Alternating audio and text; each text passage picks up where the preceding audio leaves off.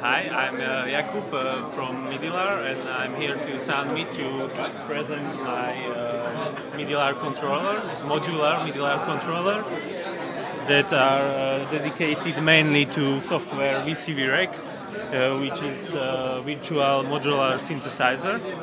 And the idea of my um, MIDI controllers is to make like hardware MIDI copies of uh, software modules inside the VCV Rack. Yeah, and uh, for example, I have here I have um, three types of modules. Like this is, uh, for example, a filter. You can see that it's directly mapped to filter in VCV Rack uh, with all like a cutoff uh, knob, uh, attenuator for uh, cutoff, resonance, drive, and so on. Also, I have this um, module that is dedicated to VCO in uh, VCV Rack.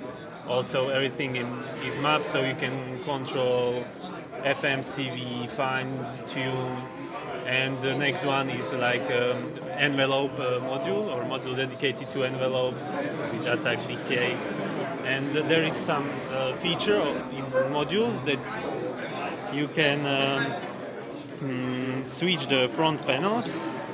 And for example here uh, this totem module in this in this with this graphic design it's like envelope and with the, another graphic design I am using for a delay.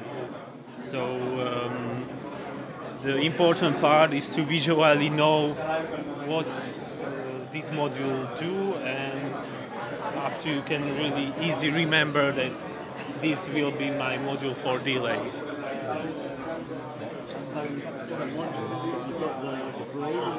Yeah, yeah. Uh, you have Midilar contains the modules, and the important part is uh, like a core that run whole system. It's based on Arduino, and uh, there you plug uh, different modules like you want in order you want and it's directly powered by USB cable from computer.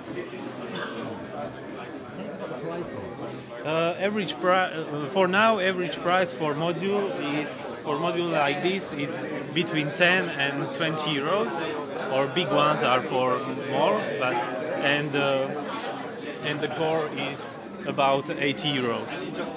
So for example a system like uh, this full system like this you can have for 300 400 euros. And it's about i don't know 20 25 modules. It's very reasonable. Um, thank you. Thank you very much. Thank you